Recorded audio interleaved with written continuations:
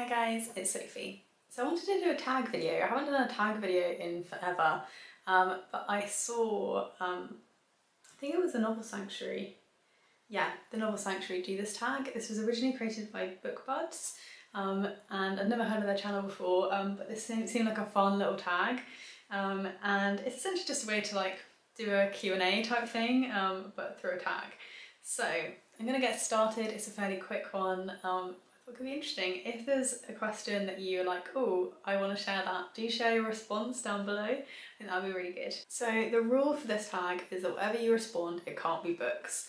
Um, so the first question is, what is something you own way too much of? Um, this is a really interesting one because I've literally spent the last month clearing my house of stuff I have too much of. Um, at the moment, it feels like I don't have too much of too many things. Um, but I think we have more mugs than we need if I'm being realistic, that we have so many less than we used to. So we now have enough to fill our whole like mug rack plus one spare. Um, but I only ever use one mug during the day. Tom, however, uses a lot. So we normally have about three mugs left by the end of the day. So technically we could have three less mugs.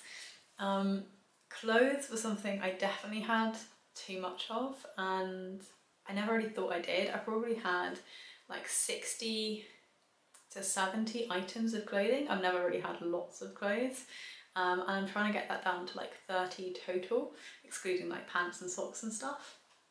Um, so I feel like I'm trying not to do that, uh, but I definitely have been in that position. I think books now, by far, are going to be my largest like per item thing in my house, but I can't say books, so I'm gonna say mugs. Question two is what is something you do for fun that isn't watching books? At the moment, something I'm really enjoying is putting a documentary on and doing some paint by numbers. I find it really quiet and meditative um, and I don't even keep them afterwards, like the finished articles, um, but I really like the process of doing it. I like having a gentle craft to do whilst listening to something or watching something. I just find helpful to have my body busy and my mind busy. I think I find that so relaxing. Um, so yeah, that's something at the moment I'm really enjoying that isn't books. Question three is what's something that's special or important that lives on your nightstand? Um, so I have like my little like thing next to my bed and then I have a couple shelves above it. So thinking about that as a whole thing. The top shelf is all just plants, which are more like decorative, but they are lovely.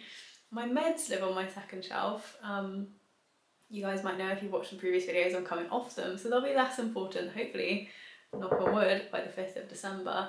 But I think one thing that's maybe interesting is I have like a little pot full of just a couple nice like self-care things that I try and do before bed um, that's just a treat. So I have my retinol there which I always put on like just before I go to bed. I find it makes me really greasy after I put it on until I wash it off. Um, I have my favourite hand cream um, which is a Body Shop cocoa butter one.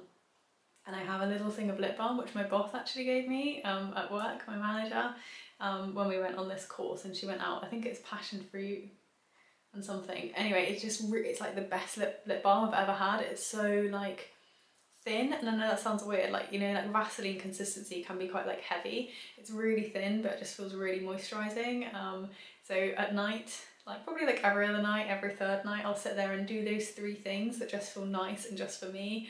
Um, and I find that really, really special. Like it feels, it feels really important to have those couple bits of self-care right by my bed. Question four is what do you buy at a bookstore that isn't books? Um, I have to be honest, I really don't buy a lot at bookshops that isn't books. Probably the thing I would buy most is tote bags. Um, I love tote bags we have um, a bag of bags that hangs up in like a little junk cupboard and um, I would say all but maybe like two are bookshop tote bags rather than um, like supermarket ones. Um, I just love them, they make me happy, but we use them as our reusable bags all the time. I maybe have too many of them, um, but there certainly are shopping trips where I use all of them. I'll think, but yeah, I love them. Question five is what is a gift you've received that was important to you that wasn't books or like a book gift card? One of my favourite things, I'm to fetch it. So one of my favourite things is this scarf. Um, it has like different panels of colour, um, so you can kind of see there's like a really bright red, there's navy, there's like some cream, um, there's this really dark, like lovely, almost like indigo type colour in it. And it um, just like, good, it like changes as you go up the scarf. Um, I adore this. Tom bought this for me for Christmas last year. Um, and it's my favourite scarf I've ever owned. It goes with so many things because the colours like, like I mentioned, there's this like purpley bit, but then there's also like cream. It just goes with everything that I wear so well and it always makes me feel really together and just lovely and I, I adore it. It's one of my favourite presents I've ever been given. Um, so props to Tom. Question six is what is a type of YouTube video or YouTuber you watch that's not about books? I did two videos I think talking about um, different types of stuff I watch that isn't bookish. Um, so if you're interested I can um, link to those in a card or something. Um, but as I mentioned at the beginning, one of the things I've been doing a lot of recently is trying to simplify my house, um, try and make my house feel really calm and gentle and welcoming um, because I spend so much of my life here. Um, and one of my favourite channels I've just started watching is a channel called Danny Rearranged and it's like Ray Arranged, um, which is just this hilarious woman who is clearing her house of stuff she doesn't need and every time I watch it she's like struggling through her own like decisions about whether or not to keep stuff and I'm like yelling at the screen like get rid of it! You don't need it! You don't love it! Um, but she's just doing an amazing job and it's like redecorating her house as she goes. She does lots of cleaning videos.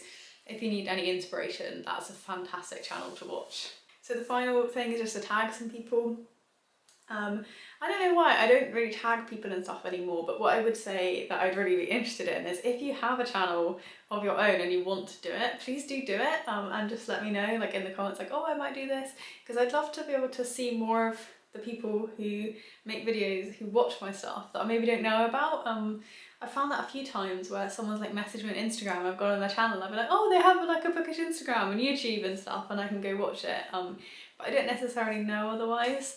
So I think that would be really good fun. Um, yeah, so that's a little quick tag video for today. Hopefully you've enjoyed and I'll see you guys again soon in my next video. Bye!